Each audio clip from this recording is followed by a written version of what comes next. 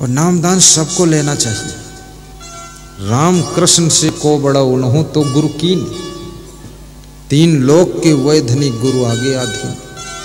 मैंने भी तो गुरु बनाया। हमारे गुरु पूज्य श्री क्षमादेव महाराज आपका भी गुरु होना चाहिए। और किसी का गुरु ही बिगड़ गया हो तो दूसरा गुरु बना लेना। झंझट में मत पड़ना। गाली गलौज मत देना उस गुरु को।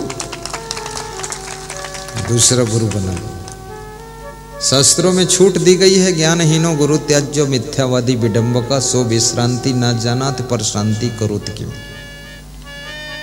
गुरु दूसरा बना दत्तात्रेय ने 24 गुरु बनाए थे।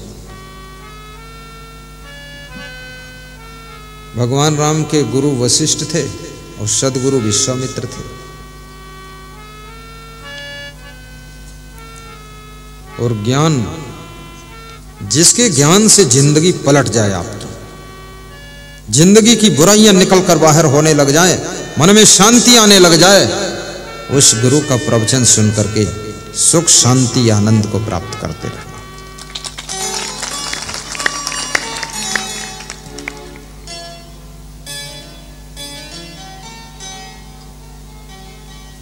जैसे उस नाती ने खिचड़ी का घी उठाकर पी लिया है, ऐसे तुम भी तुम्हारे घर में बहुत दुख है। सबके दुख को उठाकर तुम पी लेना। जैसे शिव जी ने जहर पी लिया था, जिन्होंने अमृत पिया वो सब देव बने, पर जिन्होंने जहर पिया वो महादेव बने। मैं आपसे कहूँगा, घर में जो सुख है वो तो सभी ले लेते हैं, लेकिन घर का दुख और कष्ट वो तुम अपने ऊपर ले लेना तो तुम देवों के देव महादेव हो। बहुत महान हो। परिवार की शांति के लिए कष्ट सहना भी तप है। परिवार के संगठन को मज़बूत करने के लिए तकलीफ़ को सहना भी तपस्या है। सत्संग समागम कराने के लिए कष्ट सहना, अपमान सहना भी तप है। आप सत्संग समागम करा रहे कितनी मेहनत आपको पड़ी है। दिन रात जागना पड़ा, भागना पड़ा सेटिंग करना पड़ा, सबसे सहयोग लेना पड़ा, हाथ जोड़ना पड़ा, जिनसे कभी नमस्कार नहीं किया था, उनको भी हाथ जोड़कर नमस्कार, थमस्कार, धमस्कार सब करना पड़ा। ये क्या है, ये तप है? क्योंकि आज अगर ये चाठा जागीर वालों ने इतनी मेहनत ना किया होता तो शायद ये पंद्रह हज़ार श्रोताओं को लाभ नहीं मिला होता। चाठा जागीर की धरती और धन्य है यहाँ के लोग नर नारी जिनके मन में ऐसी भावना उत्पन्न हुई है कि गुरुदेव को बुलाकर समागम कराऊं, गुरुदेव की कथा कराऊं, आशीर्वाद और वास्तव में ये कथा से मन की व्यथा कम हो जाती है। आपका जीवन मंगल में हो। समाज में फैली हुई कुरूतियों को भी दूर करो। पुरानी परंपराएँ जो व्यर्थ हो चुकी हैं, उनको ढोते मत रहो। अब उनको विदाई दे दो।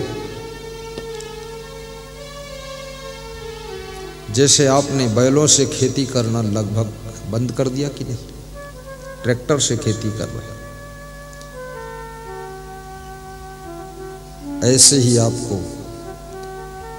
पूरे भारत देश में अलग अलग प्रदेश में अलग अलग परंपराएँ हैं अलग अलग कुरीतियाँ हैं। जिनकी पहले आवश्यकता रही होगी कभी, लेकिन आज उनकी ज़रूरत समाप्त हो चुकी है। जैसे हमारे मध्य प्रदेश में, राजस्थान में, मृत्यु भोज की परंपरा बहुत ज़बरदस्त चल रही है। किसी के घर में किसी की मृत्यु होती है, तीसरे दिन खाना पीना रखा जाता है। फिर दसवें दिन, फिर बारहवें दिन, फिर तेरहवें दिन। जो मर गया, सो मर गया। और जो ज़िंदा बचे हैं, उन पर इतना खर्चा लद गया कि वो कर्जा में मर गया।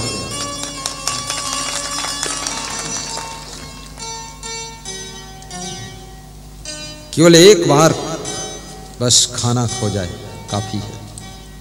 वो भी ज़मीन बेच बेच करके मृत्यु भोज मत कीजिए। क्योंकि मर गए सो मर गए बाचे बाचनहार और मृत्यु भोज में ज़रूरी नहीं कि पकवान बने। साधारण भोजन हो जाए, वो भी ठीक। है और खास खास रिश्तेदार आ जाए। बस मामा आ जाए, नाना आ जाए, बुआ जी और फुआ जी और बुआ, फुआ, फुई, रुई, सब आ जाए। जीजा जी, जीजी जी, दीदी जी, बस ये दस, पचास लोग काफ़ी। ऐसे मृत्यु के कार्यक्रम में तो भोजन करना नहीं चाहिए। हाँ शादी विवाह में ठीक। और शादी शादी शादी। उसका नाम ही है शादी। क्या नाम है? शादी। शादी मतलब? सब सादा काम होना था, शादी में। शादियों में लोग बिक जाते हैं। अनर्गल खर्चा होता है। कर्जे में डूब गए। अभिमान में दिखाते हैं कि अरे, उनसे ज़्यादा टाप का मेरा हुआ ये क्या दिखाना है? शादी में ज़्यादा से ज़्यादा 101 लोग पहुंचो, बस हो गया शादी। और शादी में भी ये भी ध्यान रखो, कभी किसी लड़के के साथ में भाग कर शादी मत करो। कभी किसी लड़की को भी भगा कर मत ले जाओ। ज़रूरत नहीं, तुम्हारे माता पिता को बहुत दुख होगा, अपमान होगा। और माता पिता ने तुमको पाल पोस कर शिक्षा देकर, संस्कार देकर गोद में खिला करके क्या इसीलिए बड़ा किया था कि जवान होने पर उनका सम्मान भी डुबा दो तुम? ऐसा कभी मत करना। सामाजिक मर्यादा के अनुसार धूमधाम से, प्रेम से सौ दो सौ लोगों के बीच में शादी कर लीजिए। और इतना ज़रूर मैं कहूँगा, शादी में सुख नहीं पाओगे। ये ललचाते हो, अभी तुम बहुत ज़्यादा। तुम समझते हो इसमें रसगुल्ला है? अरे, इसमें गोबर गुल्ला निकलेगा। हाँ। सुख नहीं है। लेकिन करना पड़ेगा, क्योंकि मन कंट्रोल ऐसे होगा भी नहीं। सब जानते हैं गुरुजी बहुत सुखी है। लेकिन गुरुजी जैसा मन कंट्रोल करना भी कोई आसान बात नहीं। मन को और मेरा मन तो बचपन से कंट्रोल है। शुरू से ही हम कभी गाँव में घूमने नहीं जाते थे। कुछ नहीं। कभी कोई गंदा फंदा गीत गाया ही नहीं, याद ही नहीं किया हमने। कभी ज़िंदगी में फ़िल्म देखा ही नहीं, कोई अच्छी बुरी कोई नहीं देखा। कोई नशा फसा किया ही नहीं। और किसी को दोस्त भी नहीं बनाया। ना, कोई दोस्त दोस्त नहीं। सब हमारे दोस्त, कोई दोस्त नहीं। और सबसे बड़ी विशेषता कि जब मैं पढ़ता था स्कूल में ना, डिग्री कॉलेज में, सामने से अगर लड़कियाँ आ रही हैं और मेरे को भी उधर जाना है तो मैं साइड गली में जाकर खड़ा हो जाता। वो निकल जाती थी, तब फिर आकर मैं इधर जाता था। कभी उनसे आँख लड़ाना, खीसे काढ़ना ये कुछ करता ही नहीं था। जन्म मेरे साथी लोग कहते थे, सब जो पढ़ते थे साथ में, और टीचर भी कहते थे, तुम पूरे महात्मा हो, तुमने कहा क्या अधूरे बनना चाहिए। बोले, पेंट शर्ट में ऐसी रहनी आपकी। मैंने कहा, मुझे संत बनना है, लेकिन थोड़ा शिक्षा प्राप्त कर लूँ। और गुरु ढूंढ रहा हूँ मैं। अरे गहरे नथु खैरे लफंगे, गुरु का चेला नहीं बनूँगा अब कितने गुरु भी ऐसा है जो दो तीन सधुनी राखे हुए उसके पास दो तीन सधुनी रहती है। मैं इसको गुरु नहीं बनाता। क्या फ़ायदा उससे? उससे तो अच्छा फिर गृहस्थी करो तो ही ठीक। अब मेरे साथ कोई सदुनी वधुनी रहे, ये शोभा देता है? अरे, बहुत खराब बात। मैं तो सदुनी उधुनी रखता नहीं। ना आश्रम में, ना यहाँ, ना ना मेरे साथ कोई लेडीज़ चलेगी, ना ना मेरी गाड़ी में बैठेगी, ना कतई मैं तो साधु बना, अपनी माँ को भी नहीं बिठाता उसमें, नहीं। माँ से मैंने कह दिया कि तुम्हें बैठना तो मैं उतर जाऊँगा, आपको गाड़ी छोड़ के आ जाएगी। अब माँ हो, इसलिए सम्मान ज़रूर है। लेकिन मैं जानता हूँ तुम मेरी माँ हो, और दुनिया क्या जाने, ये माँ की साड़ी चमक रही, किसकी चमक रही? इसलिए माता जी मेरा सम्मान आप समझो। तो माता जी कहती थी, मैं दूसरी गाड़ी से आ जाऊँगी और तुम जाओ। और बोलती थी, तुम बहुत महान संत बनोगे, इतना सावधान सभी माताओं, बहनों में सभी नारियों में नारायणी का दर्शन करना है हमको। और सभी नर में नारायण का दर्शन करना है। याद रखना, भगवान किसी को नहीं मिलता है, लेकिन लक्ष्मी का रूप अगर कोई है तो यही माता बहन है। इनको नमन करना चाहिए। धन्यवाद देना चाहिए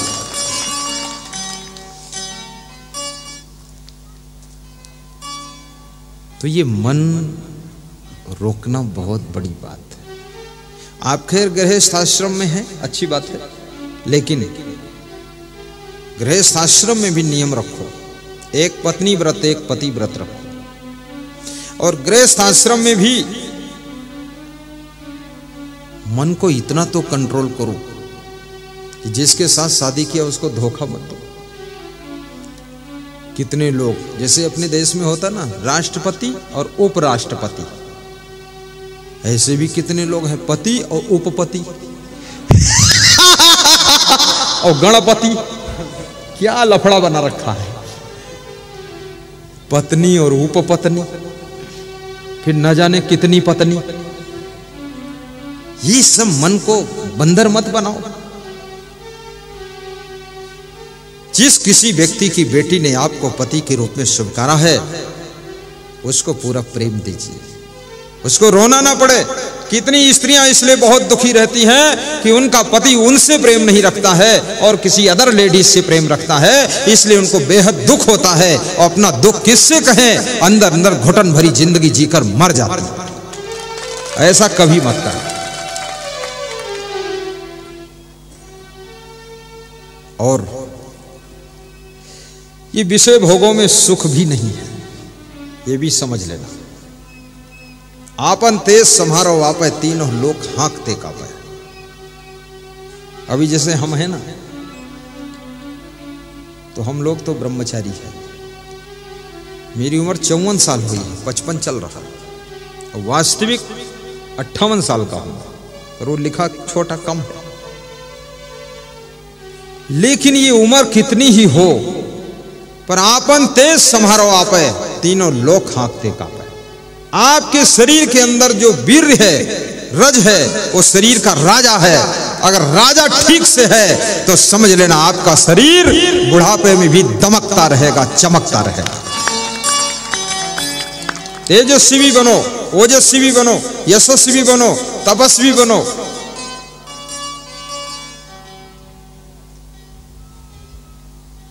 आपका जीवन तेजवान हो। सभी बेटियों के, सभी बेटों के मुखमंडल पर तेज झलकता हो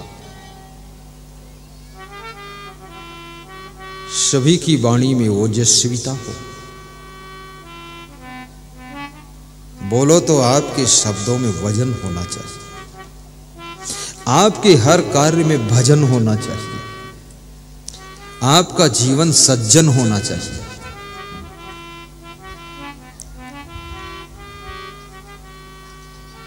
अपने से बड़ों को पैर छूकर प्रणाम भी करो।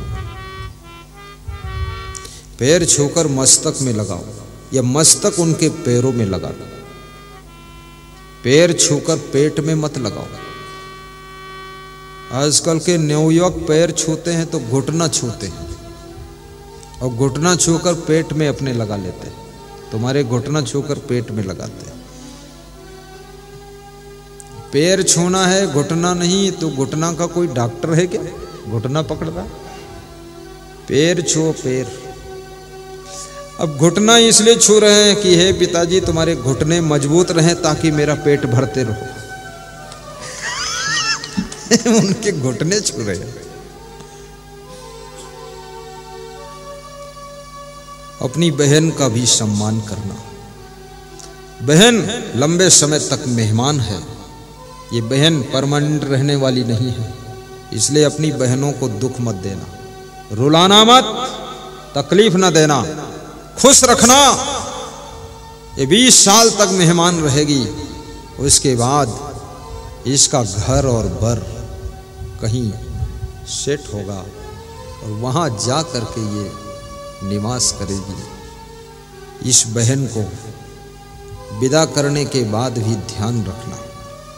और अपनी बहन को, अपनी बेटी को ये सिखाना कि ससुराल में जा कर के गम खाना, सहनशीलता रखना, जोश में मत रहना।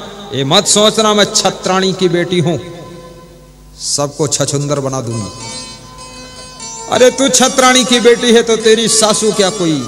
वो कम छत्राणी है तो बहुत पुरानी छत्राणी है। तो टक्कर हो जाएगी ना फिर? नहीं नहीं नहीं नहीं। हमको किसी से मतलब नहीं है।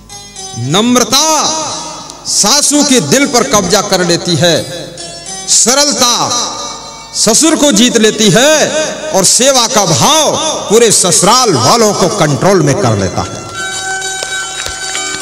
ऐसे भाव से रहना हमारा धर्म हो सेवा, हमारा कर्म हो सेवा सदा सतसंगियों में मिल सदा सतसंगियों में मिल। हमें सेवक बना जाना सदा सतसंगियों में मिल। हमें सेवक बना जाना। ध्यान में हो सेवा हमारा कर्म हो सेवा। हमारा धर्म हो सेवा हमारा कर्म हो सेवा।